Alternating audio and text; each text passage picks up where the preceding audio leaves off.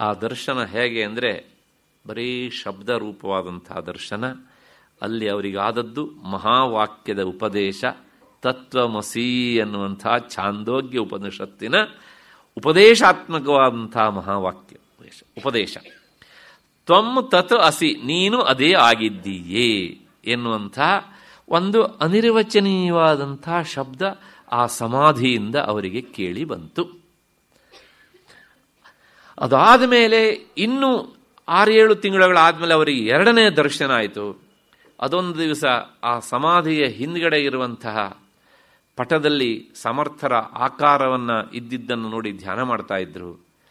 ಇದ್ದಕ್ಕಿದ್ದ ಹಾಗೇನೆ ಆ ಧ್ಯಾನ ಸ್ಥಿತಿಯಲ್ಲಿರುವಂತಹ ಶ್ರೀಧರರಿಗೆ ಎಲ್ಲಿಲ್ಲದ ಒಂದು ಆನಂದದ ಅನುಭವ. ಅದು ಹೀಗೆ ಅಂತ ಶಬ್ದದಿಂದ ಹೇಳಲಿಕ್ಕೆ ಆಗದೇ ಇರುವಂತಹದ್ದು ಅದನ್ನು ಅನುಭವಿಸ್ತಾ ಅನುಭವಿಸ್ತಾ ಇರುವಾಗ ಇನ್ನೊಂದು ಶಬ್ದ ಅವರ ಕಿವಿಗೆ ಬಿತ್ತು. ಇದಾದದ್ದು ರಾತ್ರಿ ಹೊತ್ತಿನಲ್ಲಿ. ಏನು ಅಂದರೆ, ಈಗ ನೀನು ಯಾವ ಆನಂದವನ್ನು ಅನುಭವಿಸ್ತಾ ಇದ್ದೀಯೋ, ಈ ಆನಂದ ಇದು ನಿನ್ನ ನಿಜವಾದ ಸ್ವರೂಪ. ಅದು ನನ್ನ ಸ್ವರೂಪವೂ ಹೌದು. ಹಾಗಾಗಿ ಇದೇ ನಿನ್ನ ಸ್ವರೂಪ. ಇದರಿಂದ ವಿಚಲಿತನಾಗಬೇಡ. ಆನಂದ ಘನ. ನಿನ್ನ ನಿಜವಾದ ಸ್ವರೂಪ. ಅದು ಅಂತ ಹೇಳ್ತಾ ಒಂದು ಚೈತನ್ಯ ಇವರಿಗೆ ಕಣ್ಣಿಗೆ ಕಾಣುವ ಹಾಗೆ ಆ ಸಮರ್ಥರ ಭಾವಚಿತ್ರದಲ್ಲಿ ಲೀನವಾದ ಭಾಸ.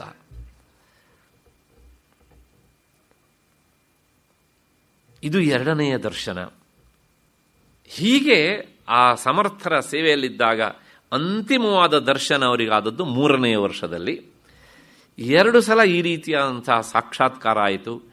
ಎಷ್ಟರ ಮಟ್ಟಿಗೆ ಕೇಳಿದರೆ ಇದಾದಾಗ ಸಮರ್ಥರ ಸಮಾಧಿಯಲ್ಲಿ ಒಂದು ಸೀಳು ಬಂದಿತ್ತು ಎನ್ನುವಂತಹ ಪ್ರಸಿದ್ಧಿಯೂ ಸಹ ಇದೆ. ಅಲ್ಲಿ ಹೋಗಿ ಬಂದು ನೋಡಿದರೆ ಇವತ್ತಿಗೂ ಸಹ ಅದನ್ನು ಸ್ಮರಿಸಿಕೊಡ್ತಾರೆ ಹೀಗೆ ಅಂತ. ಅಷ್ಟರ ಮಟ್ಟಿಗೆ. ಅದಾದ ಮೇಲೆ ಮತ್ತೆ ಹತ್ತೊಂಬತ್ತು ನೂರ ಇಪ್ಪತ್ತೇಳರಿಂದ ಹತ್ತೊಂಬತ್ತು ನೂರ ಮೂವತ್ತರವರೆಗೆ ಮೂರು ವರ್ಷಗಳ ಕಾಲ ಸಜ್ಜನಗಢದಲ್ಲಿ ತಪಸ್ಸನ್ನು ಮಾಡಿದರು ಅವರು. ಹತ್ತೊಂಬತ್ತು ಮೂವತ್ತರ ಮಾಘ ಕೃಷ್ಣ ನವಮಿ, ಅದು ದಾಸನವಮಿ, ಅಂದು ಅಂತಿಮವಾಗಿ ಅವರ ಸ, ಅವರಿಗೆ ಸಮರ್ಥರ ದರ್ಶನ ಆಯಿತು. ಅಂದು ಸಂಜೆ ಸಂಜೆ ಅಂದರೆ ರಾತ್ರಿ ತಮ್ಮ ಎಲ್ಲ ಚಟುವಟಿಕೆಗಳನ್ನು ಪೂರೈಸಿ ಸಮಾಧಿಯ ಎದುರಿನಲ್ಲಿ ಧ್ಯಾನಸ್ಥರಾಗಿದ್ದರು. ಆ ಧ್ಯಾನದಲ್ಲಿ ಮತ್ತೆ ಪುನಃ ಅವರಿಗೆ ಒಂದು ಧ್ವನಿ ಕೇಳಿಸಿತು. ಏನು ಧ್ವನಿ ಅಂದರೆ? ಇಲ್ಲಿಗೆ ನೀನು ಬಂದಂತಹ ಕೆಲಸ ಎಲ್ಲವೂ ಆದಾಗಾಗಿದೆ. ಆಜ್ಞೆ ಮಾಡ್ತಾ ಇದ್ದೇನೆ. ದಕ್ಷಿಣಕ್ಕೆ ನೀನು ಹೋಗು. ಇಷ್ಟೇ. ದಕ್ಷಿಣಕ್ಕೆ ನೀನು ಹೋಗಬೇಕು ಅಂತ. ಇದು ಕೇಳಿಸಿದ್ದು ಸುಮಾರು ಅವರು ರಾತ್ರಿ ಹನ್ನೊಂದು, ಹನ್ನೊಂದುವರೆಯ ಸಂದರ್ಭದಲ್ಲಿ. ಅದರ ಮಧ್ಯೆಯಲ್ಲಿ ಒಂದು ಘಟನೆ, ಆ ಪುಣೆಯಿಂದ ಇವ್ರನ್ನ ಕಳಿಸ್ಕೊಟ್ಟಿದ್ರಲ್ಲ, ಇಲ್ಲಿಗೆ ಹೋಗುವಂತ ಪಳನೀಟ್ಕರ್ ಅಂತ. ಅವರು ಈ ಮಧ್ಯದಲ್ಲಿ ಒಮ್ಮೆ ಸಜ್ಜನಗಡಕ್ಕೆ ಬಂದು ಶ್ರೀಧರ್ ಮಾಡ್ತಾ ಇರುವಂತಹ ಸೇವೆ ಮತ್ತು ಅವರು ತಪಸ್ಸಿನ ವಿಧಾನವನ್ನು ಕಂಡು ಆನಂದ ಬಾಷ್ಪವನ್ನು ಸುರಿಸಿ ಹೋಗಿರ್ತಾರೆ. ನೋಡಿ, ಇಂಥವರೂ ಇರ್ತಾರೆ. ಅವರಿಗೆ ಕಲ್ಲು ಹಾಕೋದಕ್ಕೂ ಕೆಲವು ಜನ ಇರ್ತಾರೆ ಹೇಗೆ ಅಂತ. ಅದಾದ ಮೇಲೆ ಸಮರ್ಥರ ಈ ಅಂತಿಮ ದರ್ಶನವನ್ನು ಪಡೆದು ಆಜ್ಞೆಯನ್ನು ಹೊತ್ತಂತಹ ಶ್ರೀಧರ್ ಬಹಳವಾಗಿ ವಿಚಾರ ಮಾಡ್ತಾರೆ. ಬಹಳ ಒಗಟಾದಂಥ ಮಾತು. ದಕ್ಷಿಣಕ್ಕೆ ಹೋಗು ಅಂತ. ಏನು ದಕ್ಷಿಣ ಅನ್ನೋದಕ್ಕೆ ಅರ್ಥ? ಭೌಗೋಳಿಕವಾಗಿ ದಕ್ಷಿಣ ಅಂತ ಒಂದರ್ಥ. ಇನ್ನೊಂದರ್ಥ ದಕ್ಷಿಣ ಅಂದರೆ ನಮ್ಮ ಭಾರತ ಮಾತೆಯ ಪಾದಗಳಿರುವಂತಹ ಕನ್ಯಾಕುಮಾರಿ. ಅಲ್ವಾ? ಏಕೆಂದರೆ ಸಜ್ಜನಗಡ ಸುಮಾರು ಸಮುದ್ರ ಮಟ್ಟಕ್ಕಿಂತ ಎರಡು ಸಾವಿರದ ಎಂಟುನೂರು ಅಡಿಗಳ ಎಷ್ಟದಲ್ಲಿ ಉಂಟದು ನೀನು ದಕ್ಷಿಣಕ್ಕೆ ಹೋಗು ಅಂದರೆ ಭಾರತಾಂಬೆಯ ಪಾದಮೂಲಕ್ಕೆ ಹೋಗು ಅಂತ ಒಂದರ್ಥ. ಇನ್ನೊಂದರ್ಥ ದಕ್ಷಿಣ ಅಂದರೆ ಅರ್ಥ.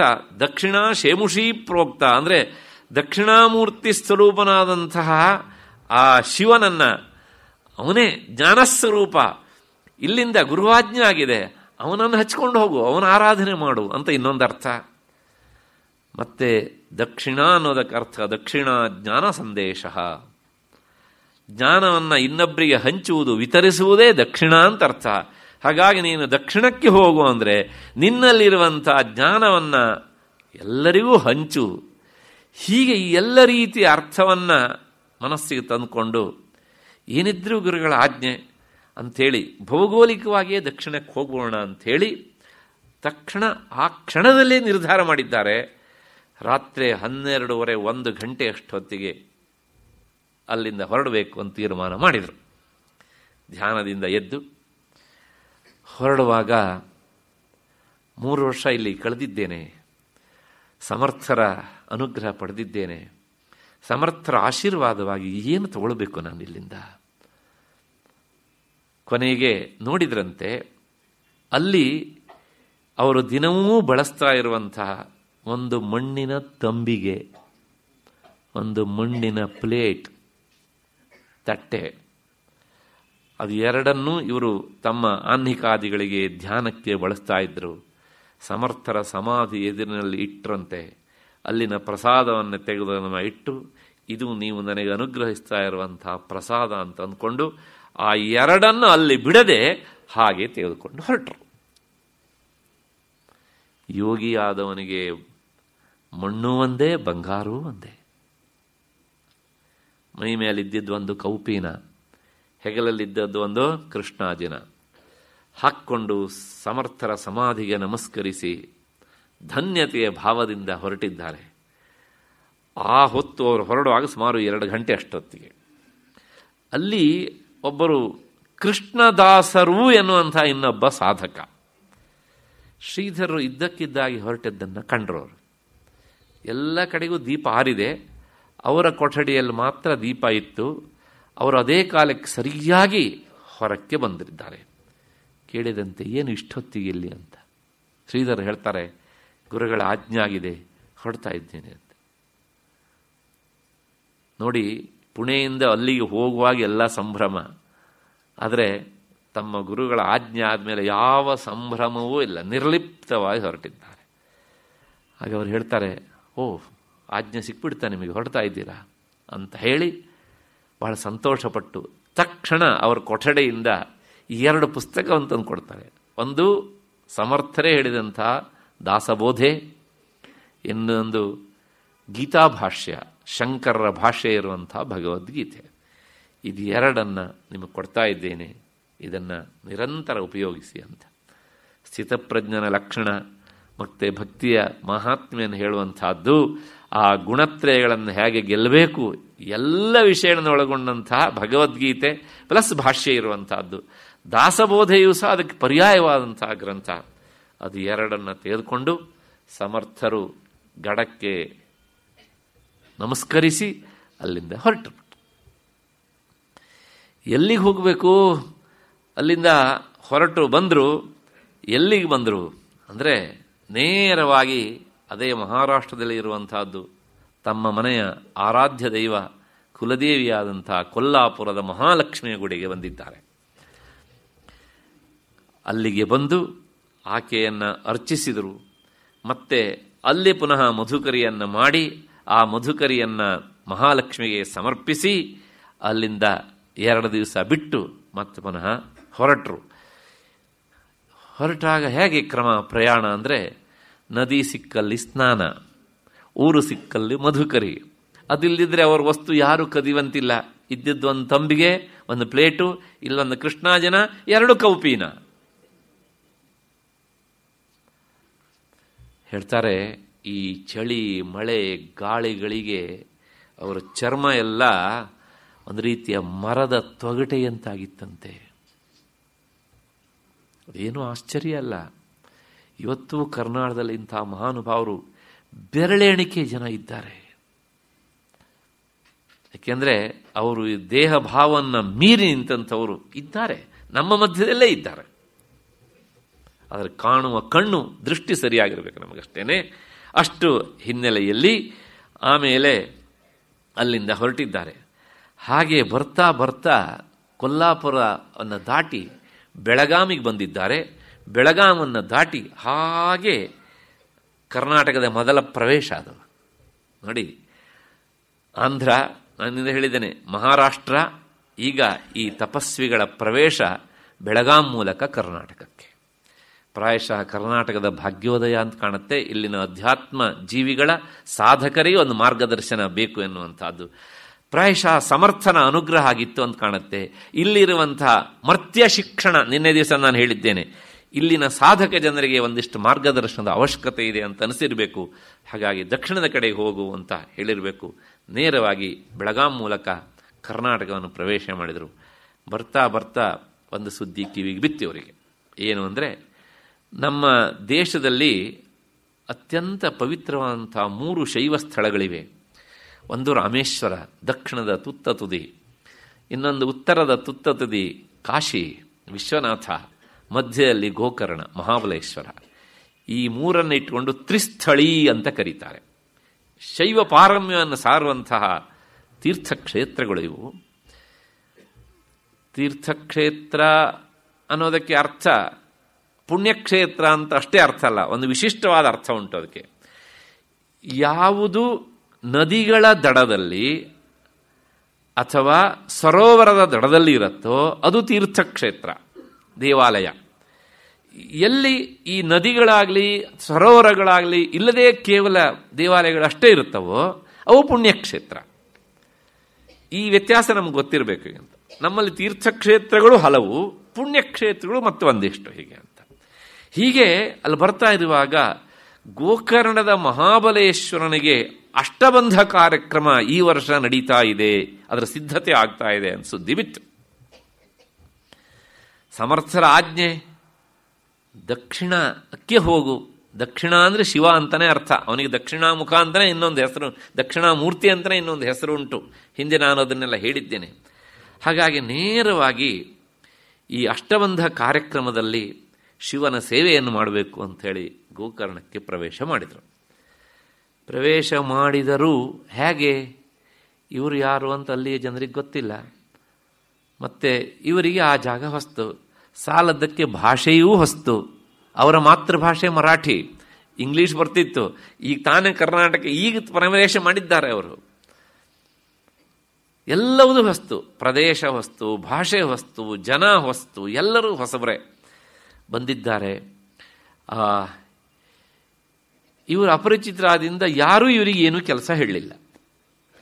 ಆದರೆ ಇವರು ಕೆಲಸವನ್ನು ಮಾಡೋದಕ್ಕೆ ಶುರು ಮಾಡಿದರು. ಏನೆಲ್ಲ ಕೆಲಸ? ಮಾಡಿದರು. ಅಂದರೆ, ಅಲ್ಲಿ ಮೊದಲು ಇನ್ನು ಕಾರ್ಯಕ್ರಮ ಶುರುವಾಕಿಂತ ಮೊದಲೇ ಇವರು ಗೋಕರ್ಣದ ದೇವಾಲಯಕ್ಕೆ ಹೋಗೋದು, ಅದನ್ನು ಶುಚಿಗೊಳಿಸೋದು. ಈ ದೇಶವನ್ನು, ಸ್ಥಳವನ್ನು ಶುಚಿಗೊಳಿಸುವಂತಹದ್ದು ಅದು ಇತ್ತೀಚೆಗೆ ಮಾತ್ರ ಬಂದದ್ದಲ್ಲ. ಸ್ವಚ್ಛ ಭಾರತ ಈಗಿಂದಲ್ಲ, ದಯವಿಟ್ಟು ತಪ್ಪು ತಿಳ್ಕೊಳ್ಬೇಡಿ. ನಾನು ಅವರ ಮಾತಿಗೆ ವಿರುದ್ಧವಾಗಿ ಹೇಳ್ತಾ ಇಲ್ಲ. ನಮ್ಮಲ್ಲಿ ಮೊದಲಿಂದನೂ ಇದಿತ್ತು. ಅದನ್ನು ಸಾಧು ಸಂತರು ಪ್ರತ್ಯಕ್ಷ ಮಾಡಿ ತೋರಿಸಿದ್ದಾದರೆ ಆದರೆ ನಮ್ಮ ಜನ ಅದನ್ನು ತುಂಬ ಹಗುರವಾಗಿ ಸ್ವೀಕಾರ ಮಾಡಿದರು. ಅದಕ್ಕೆ ಯಾವಾಗ ಒಂದು ರಾಜಕೀಯ ಶಾಸನದ ಬದ್ಧತೆ ಬರ್ತದೆಯೋ ಆಗ ಜನ ಎಚ್ಚೆತ್ಕೊಳ್ತಾರೆ ಅಷ್ಟೇನೆ. ಹೀಗೆ ಆ ಗೋಕರ್ಣದ ದೇವಾಲಯವನ್ನು ಶುಚಿಗೊಳಿಸೋದು ಎಲ್ಲ ಕೆಲಸವನ್ನು ಒಂದು ವಾರ ಮೊದಲೇ ಅಲ್ಲ ಅವರಿದ್ದಾರೆ ಶುಚಿಗೊಳಿಸ್ತಾ ಇದ್ದರು ಕೊನೆಗೆ ಅಷ್ಟಷ್ಟಾಗ ಅಷ್ಟಷ್ಟಾಗ ಅಲ್ಲಿನ ಜನ ಇವರ ಕಡೆಗೆ ನೋಡಲಿಕ್ಕೆ ಶುರು ಮಾಡಿದರು. ಆಗ ಅಲ್ಲಿನ ಜನ ಇವರನ್ನು ಒಂತಿಗೆ ಅಂದರೆ ಎತ್ತುವಳಿ ಮಾಡೋದುಂಟಲ್ಲ, ಅದನ್ನು ಮಾಡೋದಕ್ಕೆ ಅಂತ ಒಬ್ಬರು ಅಲ್ಲಿನ ಆ ಊರಿನವರೇ, ಅಂದರೆ ಹತ್ತಿರದ ಊರಿನವರು, ತನ್ನ ಜೊತೆಗೆ ಇವ್ರನ್ನ ಕರ್ಕೊಂಡು ಹೋಗ್ತಾರೆ. ಅವರೂ ಸಹ ಇದೇ ಉದ್ದೇಶಕ್ಕೆ ಅಲ್ಲಿಗೆ ಬಂದವರು. ಅವರ ಹೆಸರು ಶಿವಭಟ್ಟರು ಅಂತ, ಕೆಕ್ಕಾರದವರು ಅವರು. ಆಗ ಅವರು ಅಷ್ಟೋ ಇಷ್ಟೋ ಸಾಧನೆ ಮಾಡಿದವರು. ಇವ್ರನ್ನ ನೋಡಿದಾಗ ಅನಿಸುತ್ತೆ, ಓಹೋ ಇವರು ಸಾಮಾನ್ಯ ವ್ಯಕ್ತಿಗಳಲ್ಲ ಅಂಥೇಳಿ ತಮ್ಮ ಜೊತೆಗೆ ನಿರಂತರ ಕರ್ಕೊಂಡು ಹೋಗ್ತಾರೆ. ಆ ಎತ್ತುಗಳಿಗೆ ಕೊಟ್ಟಿದ್ದನ್ನೆಲ್ಲ ಸಮರ್ಪಕವಾಗಿ ತರೋದು ದೇವಾಲಯಕ್ಕೆ ಸಮರ್ಪಣೆ ಮಾಡೋದು, ಉಗ್ರಾಣದಲ್ಲಿ ಇಡುವುದು. ಅದೊಂದು ದಿವಸ ಒಬ್ಬಾತ ಅತ್ಯಂತ ಕಡು ಬಡವನ ಮನೆಯ ಮುಂದೆ ಹೋಗಿ ನಿಂತಿದ್ದಾರೆ. ಇಬ್ಬರೂ ಸಹ. ಆ ಊರಿನಲ್ಲಿ ಶ್ರೀಮಂತರು ಬೇಕಷ್ಟು ಜನ ಇದ್ದಾರೆ. ಆಗ ಅವ್ರು ಹೇಳಿದಂತೆ ನೀವು ಇವತ್ತು ಈ ಮನೆಯಲ್ಲೇ ಭಿಕ್ಷೆಯನ್ನು ಸ್ವೀಕರಿಸಬೇಕು ಅಂತ. ಆಗಲಿ ಅಂತ ಒಪ್ಪಿಕೊಂಡ್ರು. ಅವ್ರು ಹೇಳಿದಂತೆ, ಇವತ್ತು ಇವ್ರ ಮನೆ, ನಿಮ್ಮ ಮನೆಯಲ್ಲಿ ಇವರು ಭಿಕ್ಷೆ ಮಾಡ್ತಾರೆ ಅಂತ. ಆಗ ಭಿಕ್ಷಾ ಮಾಡುವಾಗ ಅನಿಸ್ತಂತೆ ಅವರಿಗೆ, ಪಾತ್ರೆಯಲ್ಲಿರೋದೆಲ್ಲ ಖಾಲಿ ಆಗಿಬಿಟ್ಟಿದೆ, ಪಾಪ ಬಡಿಸ್ತಾ ಬಡಿಸ್ತಾ.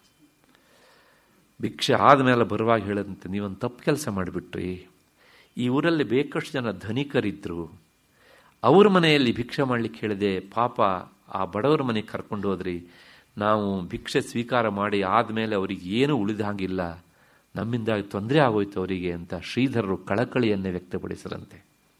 ಆಗ ಅವರು ಹೇಳಿದ ಮಾತು, ಆ ಶಿವಭಟ್ರು ಅನ್ನೋರು, ಉದ್ದೇಶಪೂರ್ವಕವಾಗಿ ನಿಮ್ಮನ್ನು ನಾನು ಅವ್ರ ಮನೆಗೆ ಕರ್ಕೊಂಡು ಹೋಗಿದ್ದೇನೆ. ನಿಮ್ಮಂಥ ಯತಿ ಸಾರ್ವಭೌಮರು ಅಲ್ಲಿ ಭಿಕ್ಷೆ ಸ್ವೀಕಾರ ಮಾಡಿದರೆ ಅವರ ದಾರಿದ್ರ್ಯ ನಿವಾರಣೆ ಆಗ್ತದೆ ಎನ್ನುವಂಥದ್ದು ನನಗೆ ವಿಶ್ವಾಸ ಇದೆ. ಅವರು ಮುಂದೆ ಶಂಕರಾನಂದ ಅಂತ ಅವ್ರ ಯತಿಗಳಾದರು, ಆ ಶಿವಭಟ್ರು ಅನ್ನೋರು ಮತ್ತು ಹೇಗೆ ಅಂತ. ಈ ಒಬ್ಬ ಜ್ಞಾನಿಯನ್ನ ಇನ್ನೊಬ್ಬ ಜ್ಞಾನಿ ಮಾತ್ರ ಅರ್ಥ ಮಾಡ್ಕೊಳ್ತಾನೆ ಅನ್ನೋದಕ್ಕೆ ಇದಕ್ಕಿಂತ ಮಿಗಿಲಾದ ಉದಾಹರಣೆ ಬೇಕಂತ ಆಮೇಲೆ ಅವರು ಹೇಳಿದ ಹಾಗೆ ಆಯಿತು ಕೂಡ ಅದು.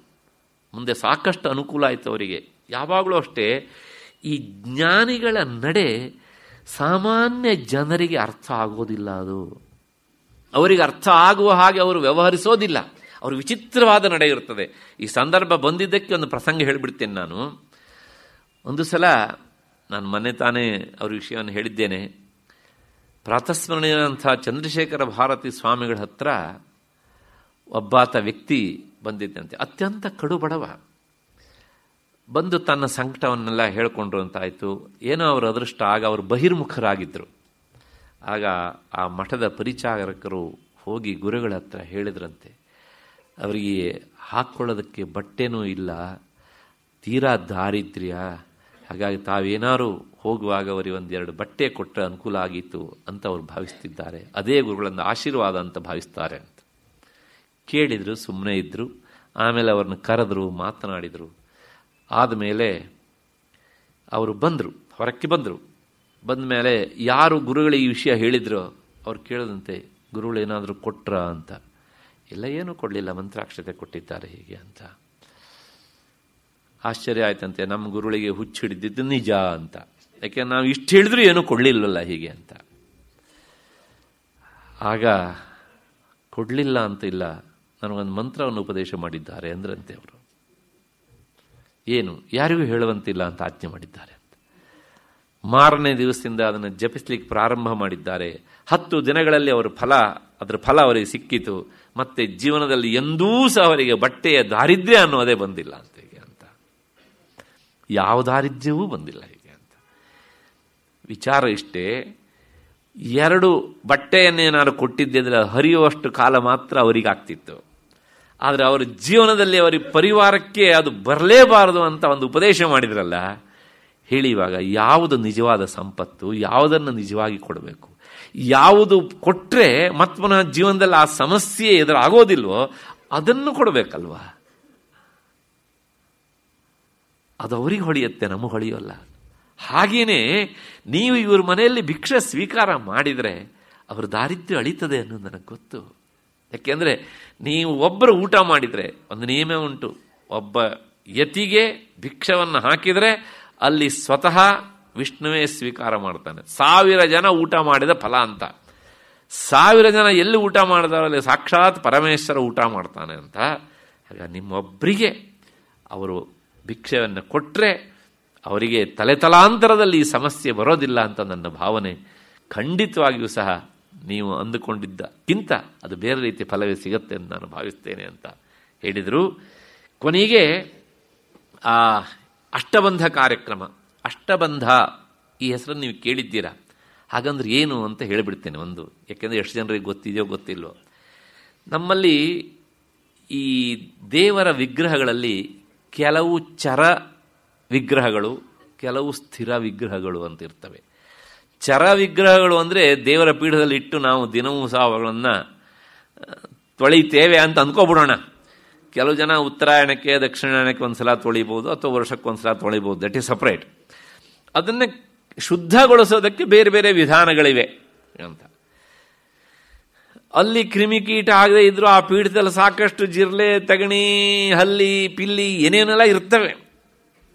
ಮತ್ತು ನಾನು ಅದ್ರ ಬಗ್ಗೆ ಜಾಸ್ತಿ ಹೇಳಲಿಕ್ಕೆ ಹೋಗಬಾರ್ದು, ಯಾಕಂದ್ರೆ ಬೇಜಾರಾಗುತ್ತೆ. ಯಾರಿದ್ದಾರು ಪೀಠದಲ್ಲಿ ಮತ್ತು ಅಂತ ಇದು ಬಿಟ್ಟರೆ ಇಂತಹ ಪೀಠದಲ್ಲಿ ಆ ದೇವರು ಅಂದ್ಬಿಟ್ಟು ಬೇರೆ ಎಲ್ಲರೂ ಇರ್ತಾರೆ ಅಲ್ಲಿ. ಆದರೆ ಇನ್ನು ಕೆಲವು ಇವೆ. ಅವು ಆ ಸ್ಥಿರ ವಿಗ್ರಹಗಳು. ಅಂದರೆ ಅವುಗಳನ್ನು ನಾವು ಕದಲಿಸೋಕ್ಕಾಗಲ್ಲ. ಪ್ರತಿಷ್ಠೆ ಮಾಡಿರ್ತಾರೆ ನೋಡಿ.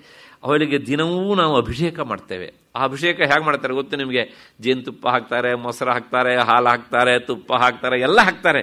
ನೀವು ಎಷ್ಟೇ ಶುಚಿಗೊಳಿಸಿದ್ರೂ ಸಹ ನೀರಿನ ದ್ರವ ಪದಾರ್ಥದ ಸ್ವಭಾವ ತನಗೆ ಎಲ್ಲಿ ಬೇಕೋ ಹೋಗೋದಕ್ಕೆ ಅದೊಂದು ಜಾಗ ಹುಡುಕತ್ತೆ.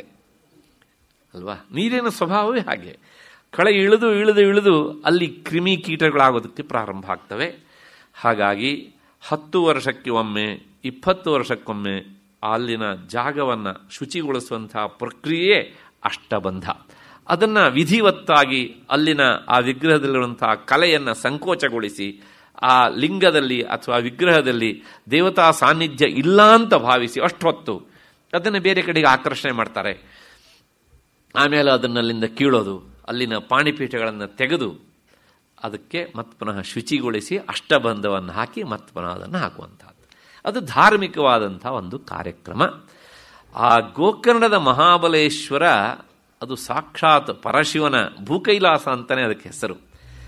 ಇವತ್ತಿನವರೆಗೂ ಅದರ ಆಳ ಎಷ್ಟಿದೆ ಅಂತ ಯಾರೂ ಕಂಡವರಿಲ್ಲ. ಹಾಗಾಗಿ ಅದನ್ನು ಪೂರ್ತಿಯಾಗಿ ಕೀಳುವುದು ಅಸಂಭವ. ಕೆಲವೇ ಕೆಲವು ಪಾಣಿಪೀಠಗಳನ್ನು ಮಾತ್ರ ಕಿತ್ತು ಅದನ್ನು ಶುಚಿಗೊಳಿಸ್ತಾರೆ. ಅದು ಸುಮಾರು ಅರವತ್ತು ಎಪ್ಪತ್ತು ವರ್ಷಕ್ಕೆ ಒಮ್ಮೆ ಅದ್ಧೂರಿಯಾಗಿ ನಡೆಯುವಂಥ ಒಂದು ಧಾರ್ಮಿಕವಾದಂಥ ಕಾರ್ಯಕಲಾಪ. ಈ ಸಂದರ್ಭದಲ್ಲಿ ಶ್ರೀಧರರ ಕೆಲಸ ಏನಿತ್ತು ಅಂದರೆ, ಆ ಮೊದಲು ಉಗ್ರಾಣಕ್ಕೆಲ್ಲ ಸಾಮಾನು ತಂದು ಹಾಕಿದರು. ಮತ್ತೆ ಉಗ್ರಾಣದಿಂದ ಸಾಮಾನನ್ನು ತಂದು ಕೊಡೋದು. ಅಡುಗೆ ಮನೆಗೂ ಬೇಕು, ಮತ್ತು ಯಾಗಶಾಲೆಗೂ ಬೇಕು. ಮತ್ತೆ ಅದನ್ನು ಪೂರೈಸಿ ಅಡುಗೆ ಮನೆಗೆ ನೀರನ್ನು ತಂದು ತುಂಬುವುದು. ಮತ್ತೆ ಊಟ ಆದ ಮೇಲೆ ಎಲೆಯನ್ನು ಎತ್ತುವುದು. ಮತ್ತೆ ಊಟ ಮಾಡಿದ ಸ್ಥಳವನ್ನು ಗೋಮಯ ಹಾಕಿ ಶುಚಿಗೊಳಿಸುವುದು. ಊಟಕ್ಕಿಂತ ಮೊದಲು ಎಲೆಯನ್ನು ಹಾಕುವುದು. ಎಲ್ಲ ಕೆಲಸವನ್ನು ಮಾಡ್ತಾ ಇದ್ರು. ರಾತ್ರಿ ಹತ್ತು ಹನ್ನೊಂದು ಗಂಟೆವರೆಗೆ ನಿರಂತರ ಕೆಲಸ.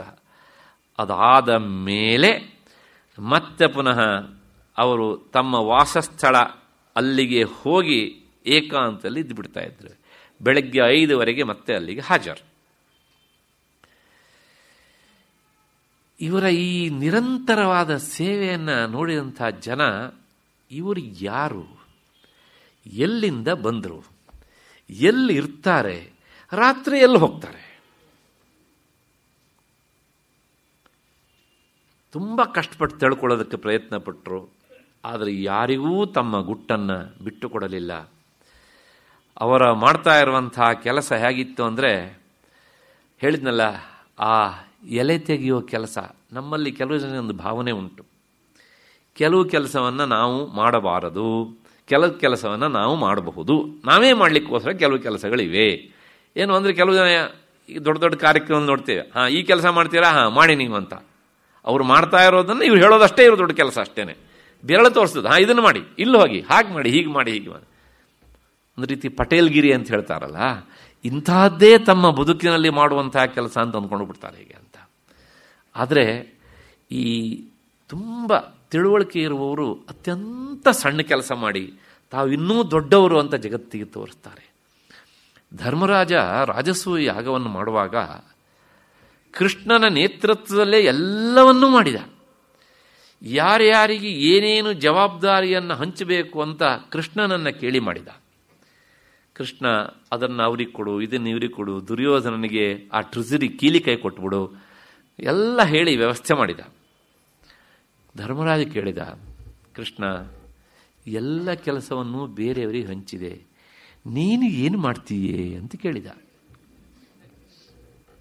ಕೃಷ್ಣ ಹೇಳಿದ, ಇಲ್ಲ, ನನಗೊಂದು ಸಣ್ಣ ಕೆಲಸ ಇಟ್ಕೊಂಡಿದ್ದೇನೆ.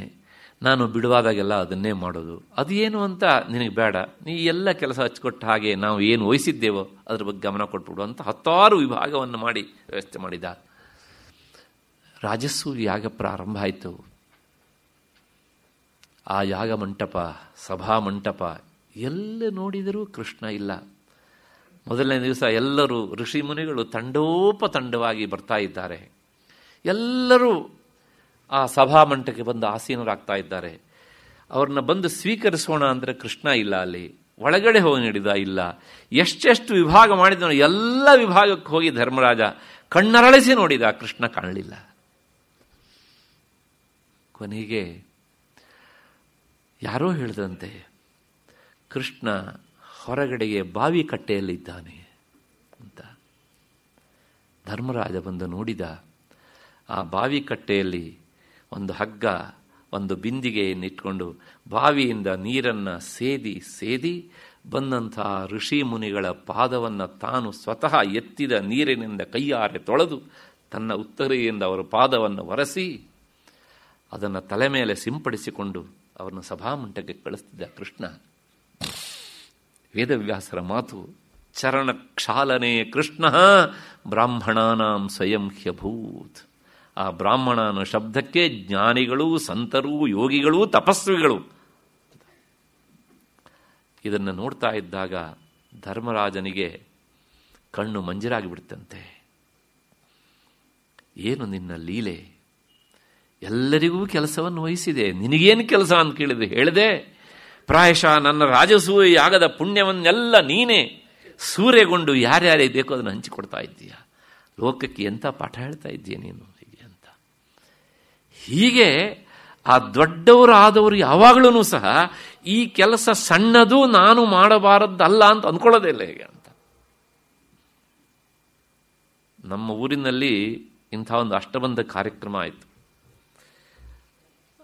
ಸುಮಾರು ಇಪ್ಪತ್ತೆಂಟು ಗ್ರಾಮಗಳಿವೆ ಆ ನಮ್ಮ ಊರಿನಲ್ಲಿ.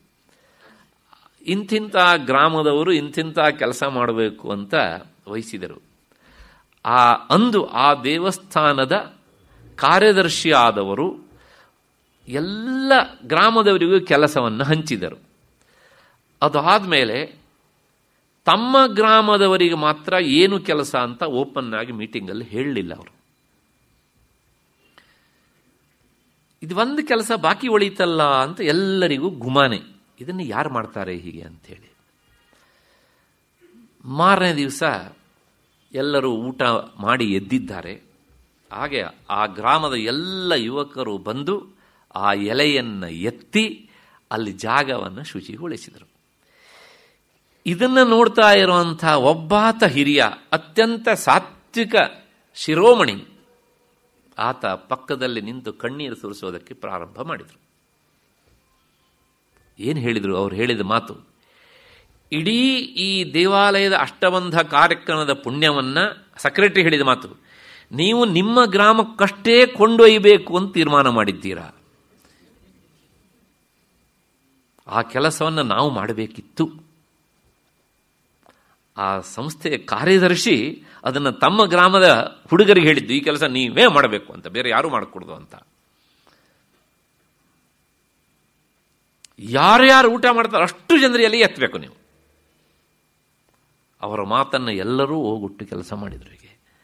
ಹಾಗಾಗಿ ಎಲ್ಲೋ ಒಂದು ಕಡೆಗೆ ಶ್ರೀಧರರು ಹಾಕಿದಂಥ ಒಂದು, ಆ ಆದರ್ಶದ ಎಳೆಯ ಒಂದು ತುಂಡು, ದಾರ ಇನ್ನೂ ಸಹ ಎಲ್ಲೋ ಕಲೆ ಅಲ್ಲಲ್ಲಲ್ಲಿ ಬದುಕ್ತಾ ಇರುತ್ತೆ ಅಂತ. ಹೀಗೆ ಕೊನೆಗೆ ಅಷ್ಟಬಂಧ ಕಾರ್ಯಕ್ರಮ ಮುಗೀತು. ಅವರನ್ನು ನೋಡಿ ಎಲ್ಲರೂ ಸಹ ಮೂಗಿನ ಮೇಲೆ ಬೆರಳಿಟ್ಟರು ಎಂಥ ಅದ್ಭುತವಾದಂಥ ವ್ಯಕ್ತಿಗಳು. ಇವರು ಯಾರು? ಕೊನೆಯವರಿಗೂ ಸಹ ಅವ್ರು ಯಾರು ಅಂತ ಗೊತ್ತಾಗಲಿಲ್ಲ. ಗೊತ್ತಾದದ್ದು ಕೇವಲ ಇಬ್ಬರಿಗೆ ಮಾತ್ರ. ಆ ಶಿವಭಟ್ರು ಅಂತ ಇನ್ನೊಬ್ಬರು ಮಹಾಬಲೇಶ್ವರ ಭಟ್ರು ಅಂತೇಳಿ ಆ ಶಿವಭಟ್ರು ಅನ್ನೋರು ಮುಂದೆ ಅವರು ಯತಿಗಳಾಗಿ ಇವರ ಜೊತೆಗೆ ಸಾಕಷ್ಟು ಕಾಲ ಇದ್ದರು ಅದಾದ ಮೇಲೆ ಅವರು ಸಮಿತಿಯವರನ್ನು ತೀರ್ಮಾನ ಮಾಡದಂತೆ. ಏನಿದ್ರೂ ಇವ್ರು ಯಾರೋ ಮಹಾತ್ಮರು ಇರಬೇಕು. ಇವರ ಜೊತೆಗೆ ನಾವು ಸಮಿತಿಯವರೆಲ್ಲ ಸೇರಿ ಒಂದು ಭಾವಚಿತ್ರ ತೆಗೆಸ್ಕೊಳ್ಬೇಕು ಅಂತ ತೀರ್ಮಾನ ಮಾಡಿ ಮಾರನೇ ದಿವಸ ಆ ಪ್ರೋಗ್ರಾಮ್ ನಿಶ್ಚಯ ಮಾಡಿದ್ರಂತೆ. ರಾತ್ರಿ ಅದು ಹೇಗೋ ಶ್ರೀಧರರ ಕಿವಿಗೆ ಬಿತ್ತು. ಅಲ್ಲಿಂದ ಹೊರಟರು.